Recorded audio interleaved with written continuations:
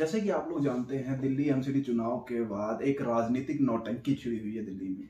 लगभग दो बार मेयर और डिप्टी मेयर के चुनाव उन लोगों ने कैंसिल कर दिए।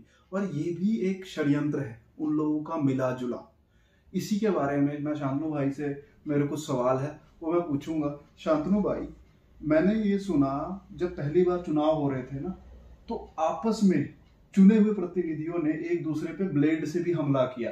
आप इसको कैसे देखते हैं? जी देखिए सुनने में तो मुझे भी आया है और ये बहुत ही गलत है। इसका मतलब जो लोग चुने गए हैं वो उस काबिल नहीं है। क्या वो भी गुंडे हैं? बिल्कुल। सदन में लोगों ने गुंडे भेजे हैं या अपने प्रतिनिधि?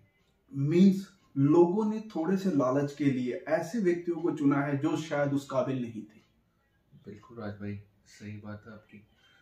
पर मैं यहाँ ये समझना चाहता हूँ कि एक मेयर के लिए या डिप्टी मेयर की कुर्सी के लिए इतनी खींचतान क्यों?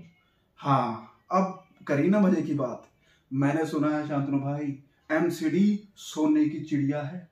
वह लोग सोने की चिड़िया, यानी कि एमसीडी से जो पैसा लाखों करोड़ों का बजट होता है ना, उस पे कब्जा जमाना चाहते हैं। जनता के पैसे से खुद की ऐश देख रहे हैं। वो जनता का भला नहीं करते हैं। ना पहले हुआ है। दिल्ली में आज की डेट में भी ना सिर्फ़ और सिर्फ़ पोस्टर के लिए सफ़ाई होती है। हकीकत में आप जाके देखना आज की डेट में भी ना नालियों का पानी सड़कों पे बह रहा होता है। पाँच पाँच सात सात साल लग जाते हैं सड़कें नहीं बनती हैं। सही बात है। मैंने एक जगह देखा भी था। हम गए थे शायद वहाँ। हाँ वो आपने देखा है। और दूसरी चीज़ रिसेंटली देखिए तीन से चार महीने हो गए एमसीडी कर्मचारियों को सैलरी नहीं दे रही है। राज भाई अगर सैलरी ही नहीं दे रहे हैं तो आप कह रहे हो एमसी सोने की चिड़िया है। हाँ सोने की चिड़िया तो प्रतिनिधियों के लिए है जो चुने गए हैं। क्योंकि वो पैसा निकालते तो हैं लेकिन अपने भाई बंधुओं में बांटते हैं। अपने भाई बंधुओं को काम देकर बांटते हैं पैसा। वो है सोने की चिड़िया उनके लिए। तो मतलब आम नागरिक या आम कर्मचारी का कोई भला नहीं? कोई भला नहीं जैसे कि गेहूँ के साथ घुन पिसता है ना हम लोग घुन हैं उनके लिए। गेहूँ भी नहीं है।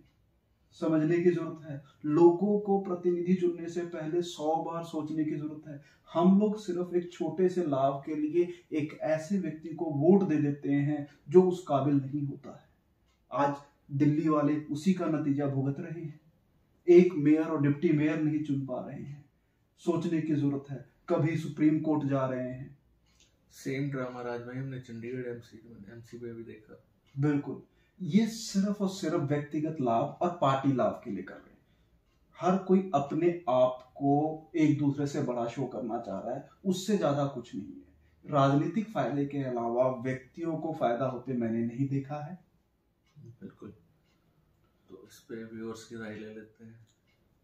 मैं व्यूअर से भी कहूँगा कि आप सोचिए कि कैसे व्यक्ति को सदन में भेजना चाहिए किसको वोट देनी चाहिए। क्या वोट देने से पहले हमें कैंडिडेट के बारे में अच्छे से समझने की ज़रूरत है या नहीं? आप लोग इसके बारे में क्या सोचते हैं? वीडियो में कमेंट करके बताइए। और दिल्ली में हुए एमसीडी चुनाव का लाभ किसको हो रहा है? इसके बारे में ज़रूर बताइएगा। धन्यवाद।